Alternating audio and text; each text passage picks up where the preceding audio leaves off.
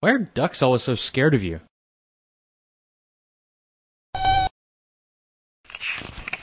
Dear Tim and Moby,